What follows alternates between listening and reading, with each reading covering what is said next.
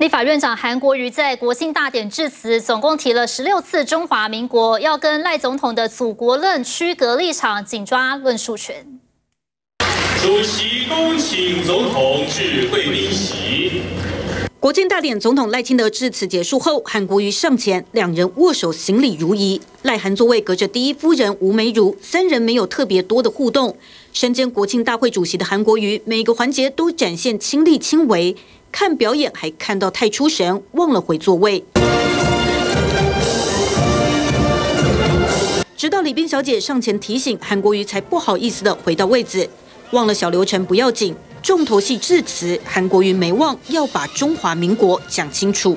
中华民国是我们的国，美丽台湾是我们的家，中华文化是我们的根，自由民主。是我们的宝，必须让世界知道，让年轻人知道，中华民国是存在的。强调中华民国论述是近一个星期韩国瑜着力最深的事，因为十月五号，当总统赖清德抛出祖国论，同时也说出中华民国生日快乐后，韩国瑜评论赖总统发言讲得非常好，被认为是认同赖清德发言掀起反弹。因此，在国庆前上节目的访谈，韩国瑜都不放过解释的机会。讲了个半天，这个哇，还没现在仔细听，这什么意思？这历史观吗？现实观嘞？还有未来嘞？还有解决的 solution 呢？小丑开始逐步爬出来了。感动的是，赖总统讲了中华民国，而不是认同祖国论。韩国瑜在国庆致辞再提十六次中华民国，阐明严正立场。TVBS 新闻肖明正李敏珍综合报道。总统赖清德上任后首次国庆文告，延续了就职演说，重申中华民国跟中华人民共和国互不隶属。总统的国庆文告再一次强调两岸互不隶属。现在，中华民国已经在台澎金马落地生根，和中华人民共和国互不隶属。民族自由。在这块土地上成长茁壮，中华人民共和国无权代表台湾。这当然也是延续就职演说时的基调。中华民国主权属于国民全体，有中华民国国籍者为中华民国国民。由此可见，中华民国与中华人民共和国互不隶属。用中华人民共和国称呼对岸，学者分析其中蕴含的自然是两国论概念。对北京的方面，主要就是两国互不隶属。那这一点其实它不会有任何的改变，因为当五二零呃公开讲出这样的一个立场的主张，而且是非常非常的强烈，赖清德总统在两岸政策上跟路线上应该已经是非常的确定。啊，那为能够调整的空间，我想还是非常有限。因为算一算，总统的国庆文告几乎多以中国来称呼对岸。前总统蔡英文常用的两岸仅有两次，但回顾蔡前总统的国庆文告，去年两岸用了十次，前年也有九次。至于中国，各一次，有时则会出现北京当局与北京当局发展双方可接受的互动基础。以及和平共存之道。尽管总统总说两岸政策延续蔡英文路线，但在史观及论述上仍有些许差异。TVB 新闻李国正、邱焕柔台报道。今年国庆大典最吸睛的表演，不得不提的就是宪兵快反连，也是接装了美制印第安挑战者重机机车之后呢，首次在国庆活动展演。不过，要成功驾驭这一辆三百六十一公斤重的新车，相当不容易。像是在分列式哦，必须维持一路是十五公里的车速，标旗对阵，就花了两个时间的时间来取特训。顺利队形进阶交错，或是顺逆双向定圆。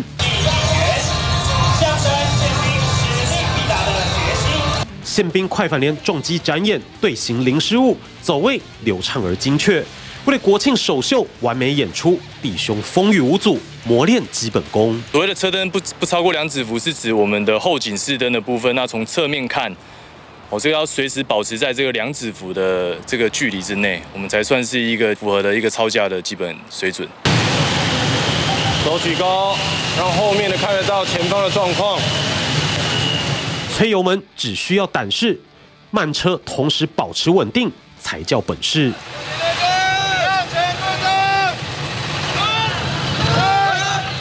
分组训练，资深干部拉高分贝，提醒速度控制，用意是让队列正面保持切齐。分列式的时候是以离合器的收放下去做前进与减速，对我们之间是不会踩刹车。对，那新进车手可能对于离合器的掌握比较没有这么适应，因为我们今年有新进不少弟兄，那就是搭配资深车手下去做训练。这一招可不是所有人都一来就会，只靠左手维持十五公里车速，行进间要标齐对正，距离却是考照时的好几倍，稳定性过关了，接着加入变化。你的转场，你要记住你的点，然后也要去提醒旁边的人。因为如果你骑错的话，你后面的人就会跟着你骑错，所以会影响到的不是只有你自己而已。视线保持向前，眼角的余光还要注意地面标点和队友相对位置。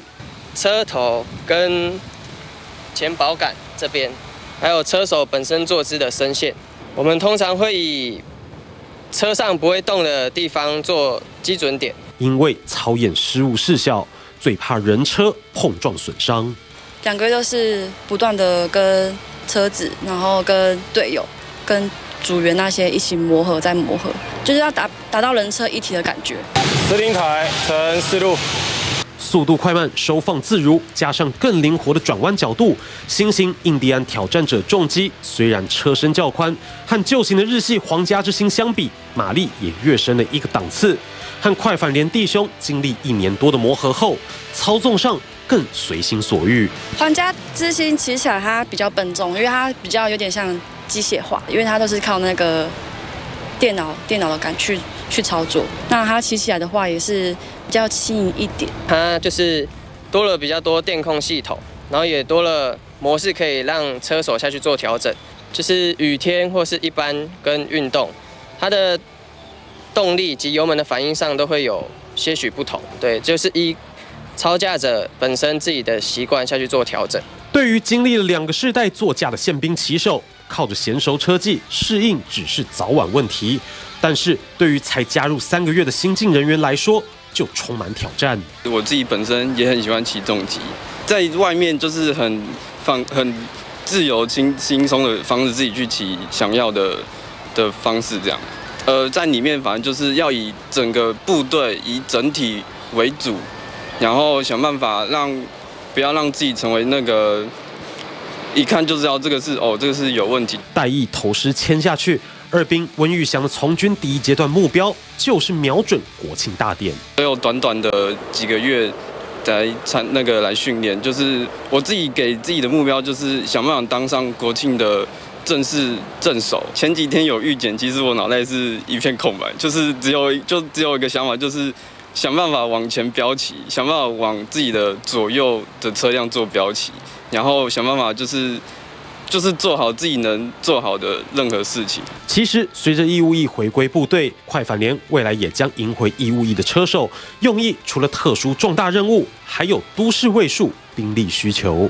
快反连的整整个连队的编制上来讲，它是以人、装、车合一的方式。来实施一个编装，那我们的每一兵都有都有这个具备这个独立自主作战的一个相关的能力跟武器，我们可以依任务的调整、任务的多变、环境的多变等等状况之下，我们可以来进行一个迅速、快速反应的一个任务执行，包含我们的展演，包括首次亮相的敞篷阅兵车，蓝白红倒影，一如国旗色系，闪耀府前广场。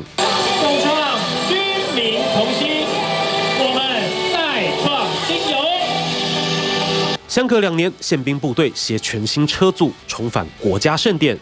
风雨过后，英挺依旧。体育新闻，杨清波、叶甫台报道。以色列跟黎巴嫩真主党持续的互轰，在首都贝鲁特呢，难民人数已经超过了二十万人。随着真主党的领袖跟继任者都相继的阵亡，真主党陷入了前所未见的混乱。而真主党的带领领袖呢，西这个卡西姆首度表态愿意支持跟以色列停火，而稍早以色列宣称再度狙杀了两名真主党的指挥官。蓝天中接连冒出白色的烟雾，以色列铁穹系统又忙着拦截真主党火箭弹。只是边界处的监视器还是拍到漏网之鱼，部分火箭弹就落在前方建筑林立的社区里头。受害的又是以色列北部的谢莫纳小镇，当地官员证实，事发时刚好有两位民众在散步，结果被火箭弹击中，当场丧命。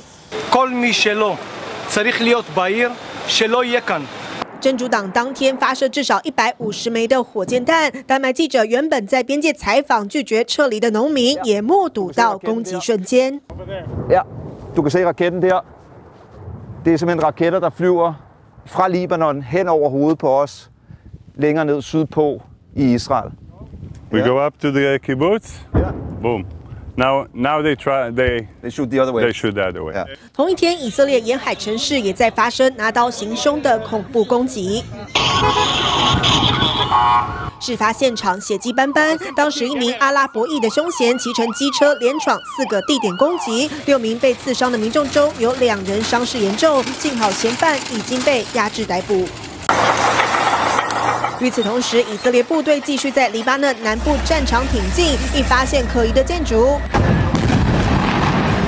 一律毫不留情直接炸毁。以色列认为真主党和哈马斯手法雷同，总是拿非政府组织或民宅当掩护，偷藏弹药武器。Here, where this is just a fraction of the uh, Hezbollah munitions pointed towards Israelis we found in the last week.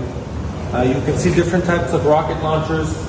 IEDs, uh, AK-47s, um, RPGs. 以色列特地将找到的真主党武器一字排开，里头应有尽有，甚至出现这种双筒造型、搭载镭射光束的火箭。 I want you to imagine an Israeli family in northern Israel trying to have a dinner, and this missile that can fire up to five kilometers, uh, that has a laser beam that can fire through a window and hit that family. Uh, I want you to imagine this threat. 真主党上至领袖，下至各层级指挥官，都被以军标记上歼灭的记号。以色列甚至连两名准备接班的继承者也不放过。真主党如今面临群龙无首的窘境，以色列总理纳坦雅胡趁机向黎巴嫩民众喊话 Stand up and take your country back. You have an opportunity that hasn't existed in decades. I say to you, the people of Lebanon, free your country from Hezbollah so that this war can end. 说这是千载难逢甩开真主党的大好机会先前被真主党当成据点的贝鲁特南郊地区现在像是鬼城一般从当地逃出来的民众得克难席地而睡对以色列其实没有好感。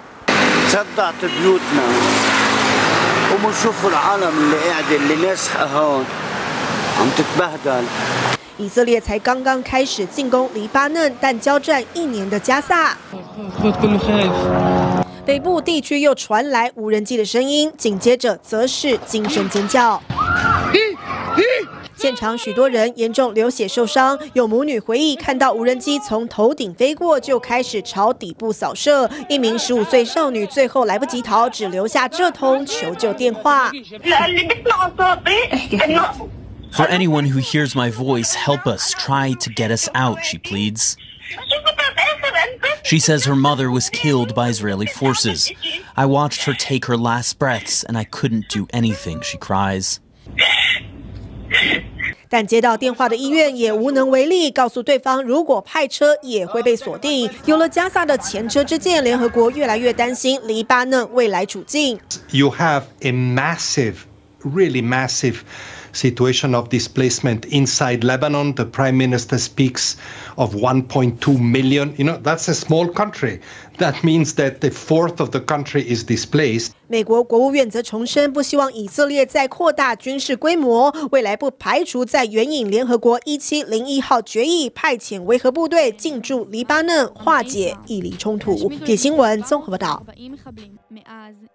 而针对上个星期伊朗向以色列发射了上百枚飞弹攻势，以色列也准备要展开报复。不过似乎呢是受到了美国的牵制。根据外媒报道，这一项的报复计划呢预计不会攻击伊朗的核设施，并且拜登也已经跟纳坦雅胡进行了电话会议。不过另一方面呢，伊朗则誓言他们是不死一战。大量不明光点像流星雨急坠直下，砸到地面，爆出惊人火光。伊朗这个月初对以色列发动大规模飞弹空袭，现在得随时面临以色列突如其来的反击。Everyone's mind is busy thinking of what might happen, this man says, and if Israel makes a move, we will certainly respond to it. 对多数伊朗民众来说，担心归担心，但他们也做好迎战的准备。If there is a need to protect our soil and our land, like our fathers and brothers who participated in the eight year war, we will go to war as well, this man says, and you will see the result of the jihad. 伊朗首都德黑兰的革命广场上，巨大广告看板就用波斯语和希伯来语写着“想来战，伊朗就是战争大师，抢下以色列”，意味浓厚。 在广场上抗议的民众高举打倒以色列的标语，以及真主党已故领袖纳斯拉勒的照片。伊朗就是要让真主党知道，老大哥并没有抛下他们。The Islamic Republic of Iran and its leader Ayatollah Ali Khamenei are making very clear that despite the current struggles of the Hezbollah organization, they will continue to support Hezbollah against Israel. וישלם מחיר, התקיפה שלנו תהיה קטלנית, מדויקת. 伊朗当时用了快两百枚飞弹空袭台拉维夫和以色列空军基地，以色列是否会采取同样规模针对伊朗军事的目标进行攻击，成为外界关注焦点。